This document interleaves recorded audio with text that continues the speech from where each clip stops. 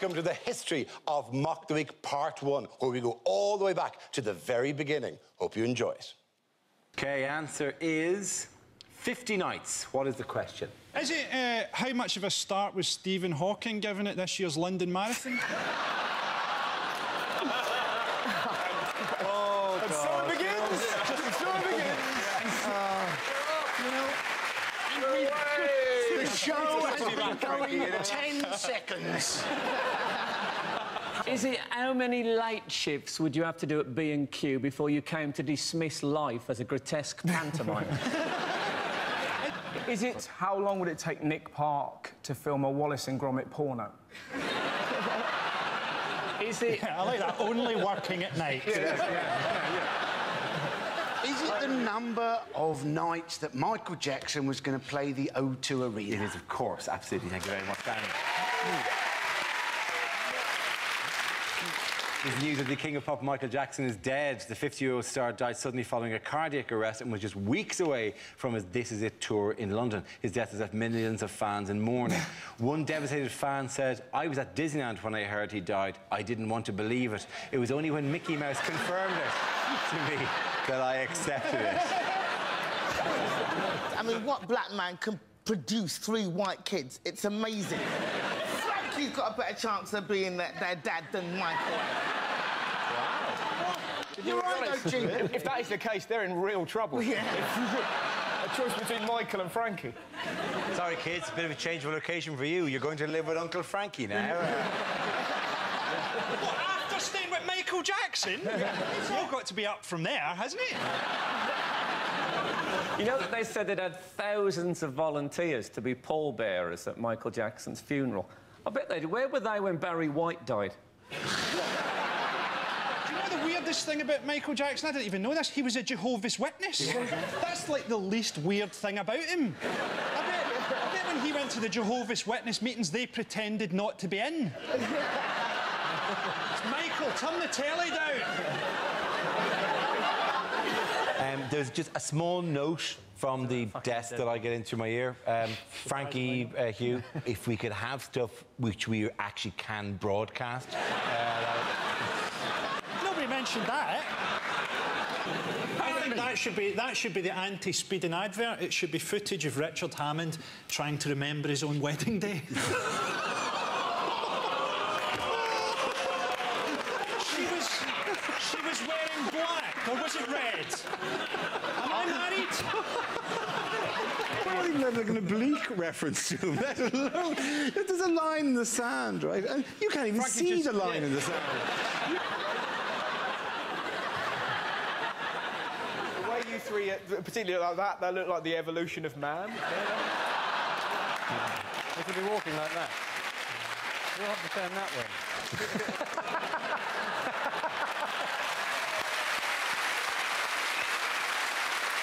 But we are apparently in the middle of a countryside crime wave. Have you seen this? Some bloke sold rhubarb from an allotment. You they have should to- tag it. Just Why don't they tag it? Imagine the phone call. Just some deranged. They've taken it. It's gone.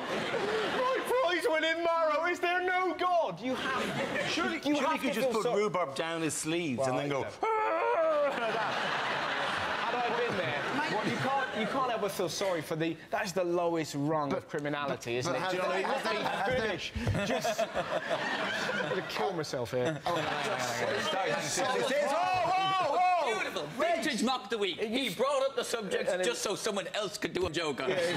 Surely he might have been working towards a punchline. You ignorant.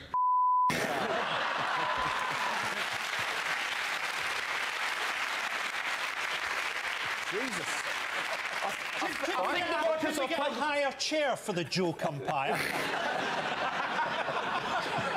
I feeling the Microsoft paperclip's taking some cocaine. But That's great. Little animation of the paper go. Good, yeah.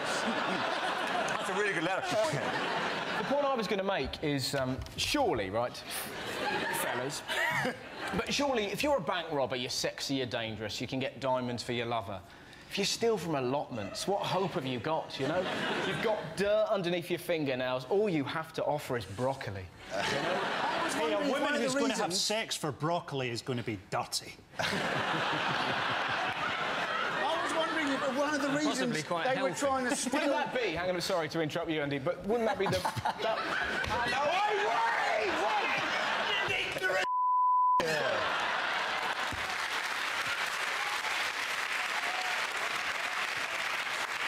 Frankly, I, I, I wish to go on the record and say I have now lost control. saying, weren't they, that Hurricane Katrina was jam- down to. I'll start that again. what were they saying, I've got goo. I've got goo all over my face. What? Not the first time Don't either. say that, mate. Ding ding. Thank. Do you think I look like Pierce Brosnan with a mouthful of sweets? In the week that Osama bin Laden released. Ah, for fuck's sake! More of that later. Mock the week. I foiled him by throwing a banana at him. Who throws a banana at somebody? It's, it's all kind of knocked on from America, isn't it? The, the problem It they've is had essentially, there. yeah. Because there's two companies that are in trouble. There was an amazing headline the other day that said Fannie Mae in trouble. The two largest financial stu- institutions in America are Fannie Mae and Freddie Mac. They're But the shorthand is- for the Federal National Mortgage Corporation and the Federal Home Loan Mortgage Corporation. When I read the headline Fannie Mae collapse, I thought Kerry Katona was pregnant again. Uh,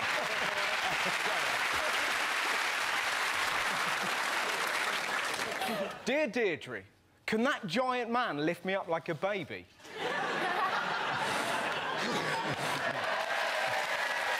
You bet your ass he can. Okay, that leaves us with Andy and Frankie. Let's have another topic. The topic is Scotland. I have this covered.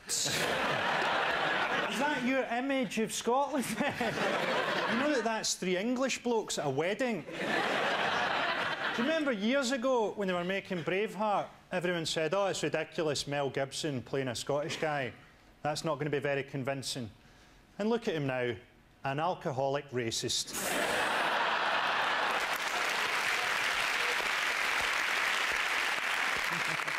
the most Scottish thing I've ever seen, I was going through a town called Bathgate at about half past 11 at night, and there was a guy pissing against the front door. He then took out his keys and went inside.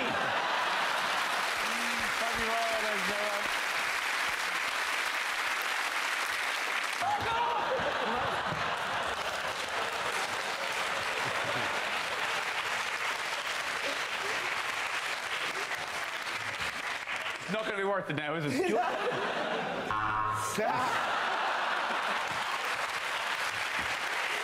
On travel news, uh, of the of the greatest travel story of the week was Tina the tortoise. Uh, Tina the tortoise lost a leg, so they attached uh, a rear wheel to the back of Tina's chair. To be honest, it's going to make fuck all difference to that tortoise. You, you said he doesn't know what's going on. It barely moves anyway. They're going to put it in a box at Christmas and it'll die. It's, uh, Thank you, thank you, Frankie, for steamrolling our gentle whimsy there.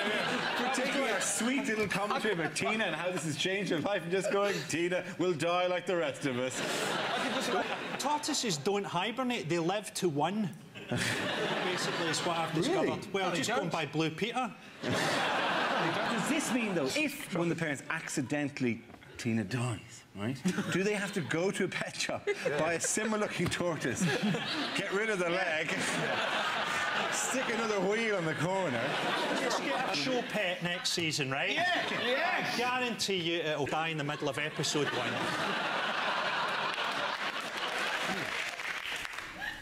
Miss Fat Ankle 2006.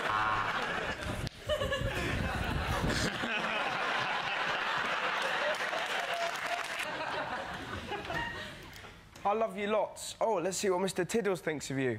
What do you think?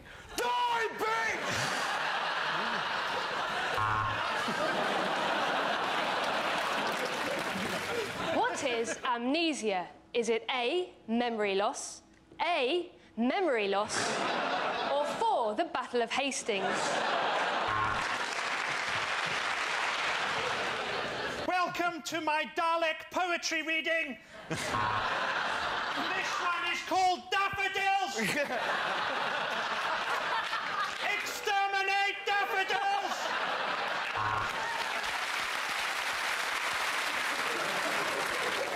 What is amnesia? Is it A, memory loss? I think the question everyone wants is get your foot out, Adam.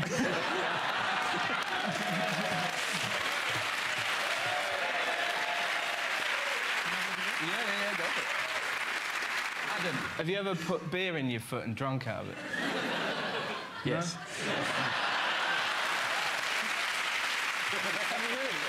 Thank you, Adam, for what could have descended into freak show territory, but you held it together with an enormous amount of dignity as we basically said, show us the weird thing! Show us the weird thing." The next topic is things that would change the atmosphere at a dinner party. Ignore the banging. She's been in there for 24 years. Help yourself to Nibbles. He was our favourite hamster, but it's what he would have wanted. You sure this is pork? it's just because Mike Crackling has a tattoo. Don't worry, we don't say grace.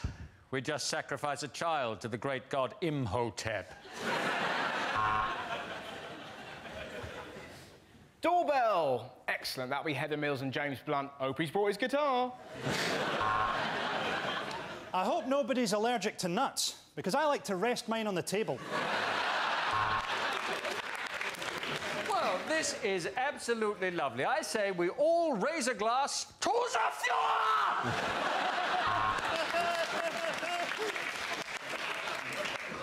Ten of you arrived. Only one will leave. Anyway, long story short, after about two hours, you couldn't tell what was poo and what was chocolate.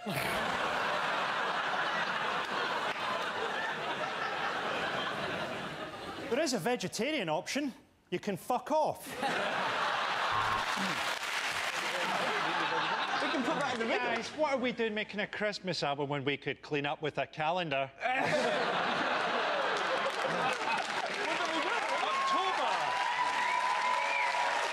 Is that, is that Darrell loading hay bales in October? what is going on? oh my God! You don't just. What are you doing? Don't give up the nipple. You don't show the nipple. That's the juice. You got to hold that back. I'll let you in the secret. I've got two. Do it some more. Do it some more. Anti-clockwise. Anti-clock. Oh yeah. January, bitches. Where will you be? Will you be like, you know, sitting behind a piano or something? Or maybe, you know, what? What's I'll be on top of the piano like the fabulous Baker boys. Where will you be, Dara? That's what you call your I, I see. I see Dara as a as a sort of a farm hand. Just, just logs everywhere. Just loads of girls go. Or it could be very artistic. It could be very artistic. It could be like uh, Munch's The Scream, and it's just you completely naked. Yeah.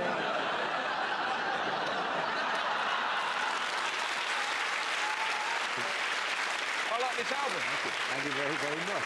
In a kind of a, is that my cock out? Oh! Here on a bridge in Norway.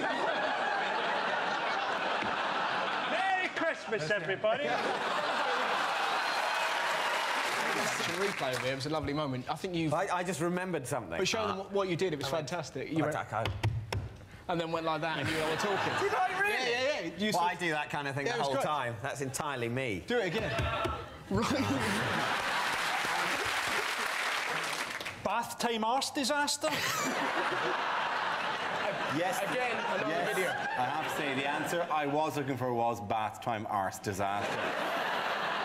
He's supposed to have a flu buddy that you got to pair up with somebody and they'll deliver the injection to you if, if, if needs be. Exactly, Yeah. but if it was my mates, they'd just pop a bit of Viagra in or something like that. Yeah, you're gonna die. Have some donuts. Have some fun. Fling it on yourself. See how many you can get. Donuts with See how many you can Viagra. What the hell are you doing? So I'll be there. I'm nearly dying, and I'm flinging them gently on. Ring donuts, not jam donuts. Yeah, I'm not but a where's he beast. putting them?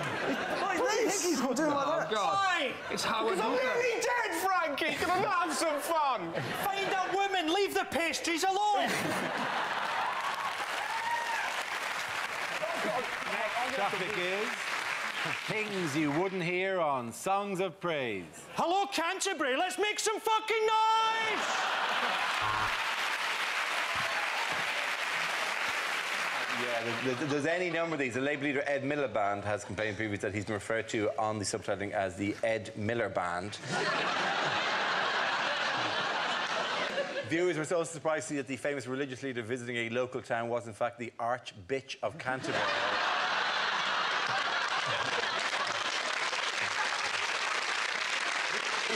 Ooh, call this a church? I don't think so.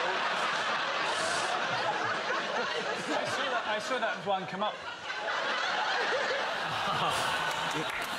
This is a power move, lunging. Like, look how you feel now. We're kind of having an argument. What about now?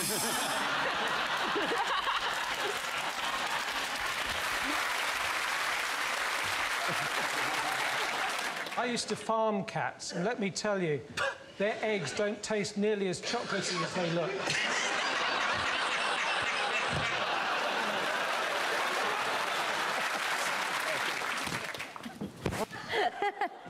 Will never work, Frodo.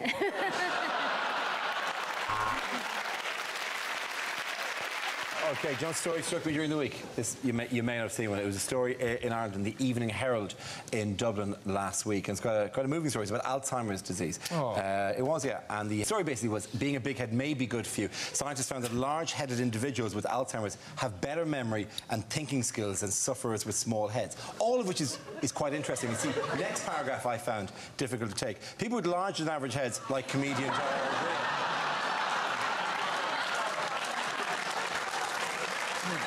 appear to be appear to be better protected if they develop Alzheimer's disease, as studies suggest. Now that would be all right if it wasn't for that. Like the article actually came with a giant photograph of me next to the article.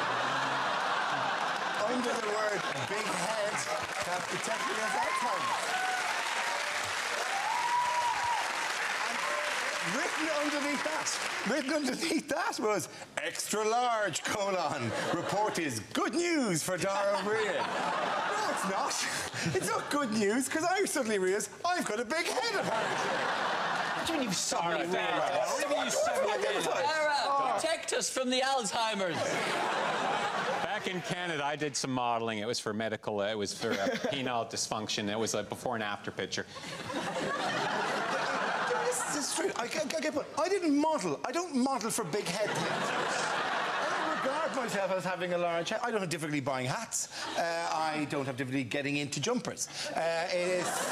My head has caused me no. When did those three guys get here?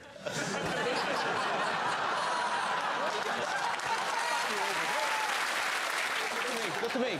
I'm going to take you to a hall of mirrors and show you how you should look. It's gonna be the kid from Mars. See, look at that. It's fine. Your, your head is absolutely enormous. In fact, on a normal size head, that would be a full head of hair. To put in context how big it is, Dara, it has its own gravitational field. It's pulled in an entire planet behind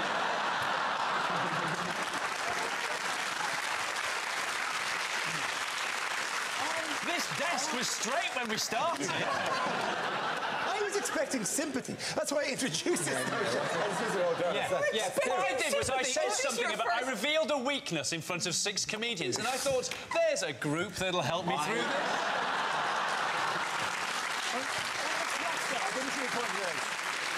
I, I think of you all as friends. I don't think of you as comedians.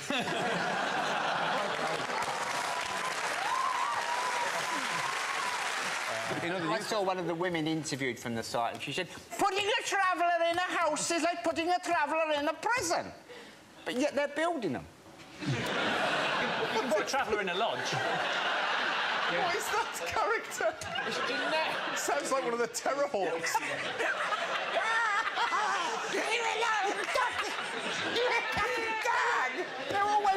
always claiming this You've gone through so many different countries with that accent as well. Welsh, French. What do you think? Did you hear the woman? She went, "I put a curse on you. I put a curse." She did. They're always giving it the curse. She didn't. don't they? The minute it kicks off, I put a curse so I much. saw Oh, in you that case, we'll coming leave through it the then. You stay where you like. Right now, everybody watching this has got their remote control going, there's something wrong with the sound. The answer is chickens, nurses, and rain. What is the question? Is it what does Heston Blumenthal put in a trifle? Is it name three things?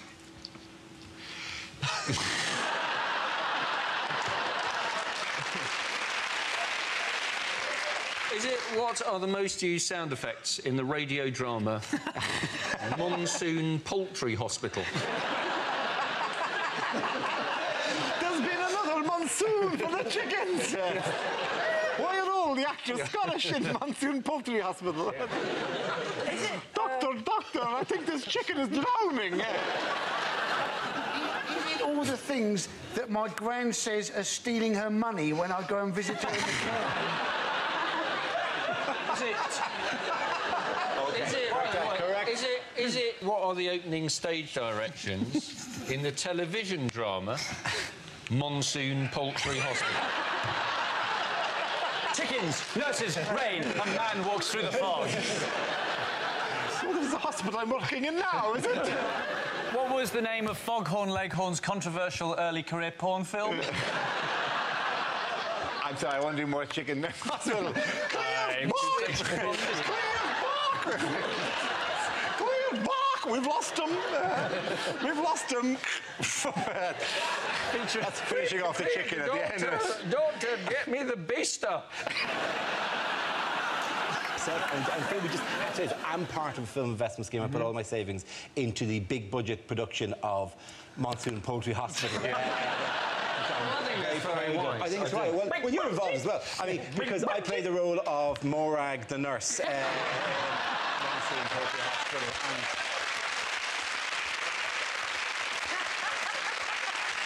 I think we're going to make a lot of money back. It's, uh, yeah, it's me and Does you that say- uh, are yeah. involved. Directed by yeah. Alfred Hitchcock. It's nice to know where the budget for this show goes. I want, to, I want to know, by the way, how well I look as a nurse. Uh, surprisingly fitting. Big shoulders. You've got, uh, you've got a hint to the readers' wives about you. if, if you if you turned up at my bed in a hospital, I'd discharge myself. Listen, I have no surprise, no doubt you'd discharge yourself. anyway.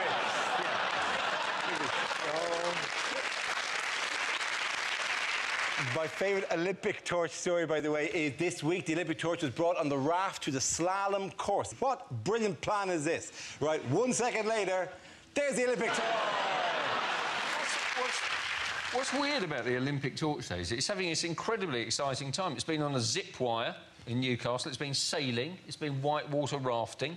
It's like it's got some sort of deal with the Make-A-Wish Foundation. It's like uh, it's as if it's sort of somebody's stag do or something, isn't it? Taking the Olympic torch, whitewater rafting. I'm amazed it wasn't left in the booth of a lap dancing club or something. I've got so many of my umbrellas. My favourite story uh, during the week of the procession of the torch and the endless procession of the torch uh, is Jill Makinson Sanders, who's the mayor of a town called Louth in Lincolnshire, who decided, as the torch was passing through her town, to dress up as one of the local products of the town of Louth of Lincolnshire. The town of Louth of Lincolnshire apparently is famous for its sausages. Here's how she tried to dress up to welcome the torch. She ran alongside the torch, ran alongside as a giant penis uh, down the street screaming. Looks like "Eve, Eve." It does not look like me.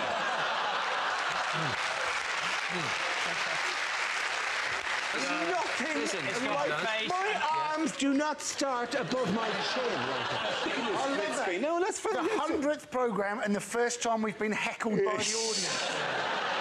You, You look like a penis giant sausage. Penis, that's it.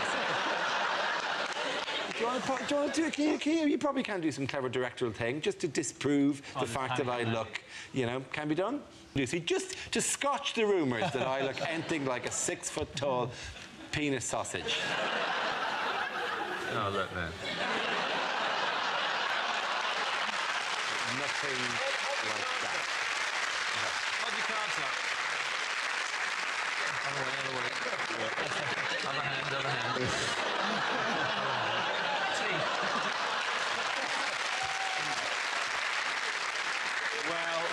Actually, Somebody's got a new Twitter avatar.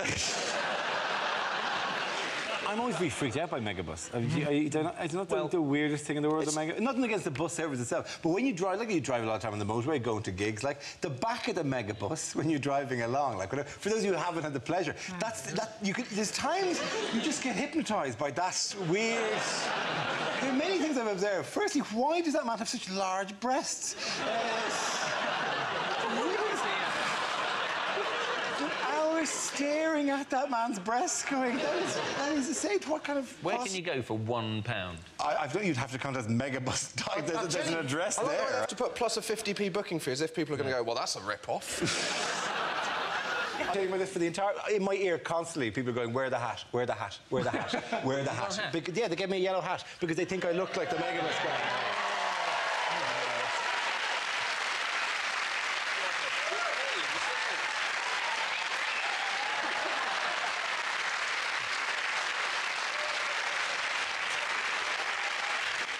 That that that man looks like a, a penis sausage. This is what's happening. They should call it penissausage.com. Oh, something else is already called. You're just penis. bringing this up to try and make everybody forget that you look like a penis sausage. That's exactly what's going on here. It's You just look like a penis sausage in a yellow hat. Oh no!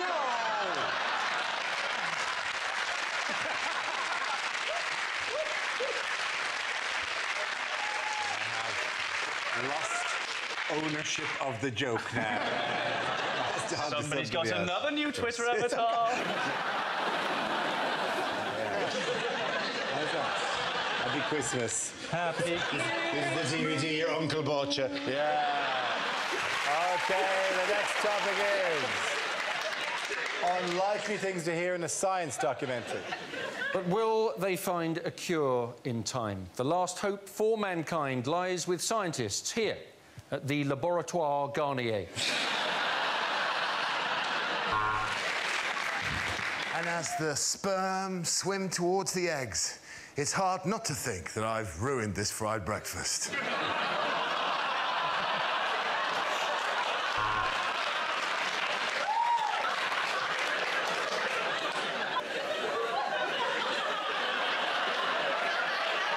I'm never again going to have a fried breakfast.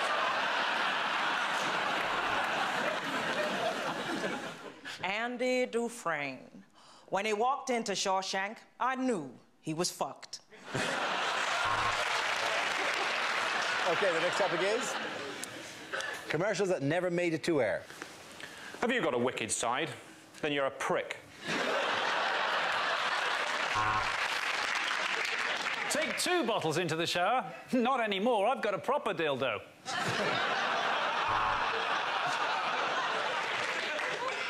With ABS, sat-nav and airbags, this may be the most advanced condom you ever buy.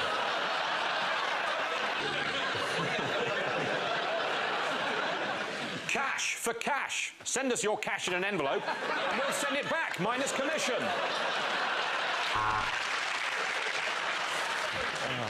Ash for cash. Put your cremated relatives in an envelope.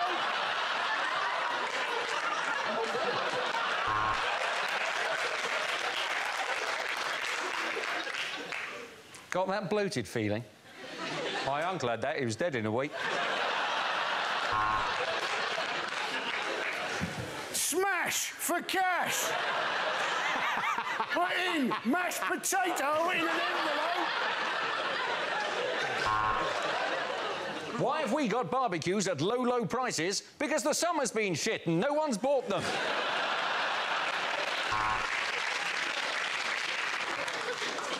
At the Dogs Trust, we never put down a healthy dog. But the minute one coughs, it's in the Thames.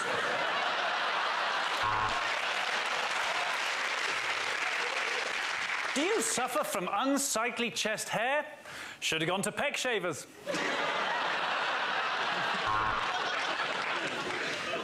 Links. Come on, virgins, wash your cocks.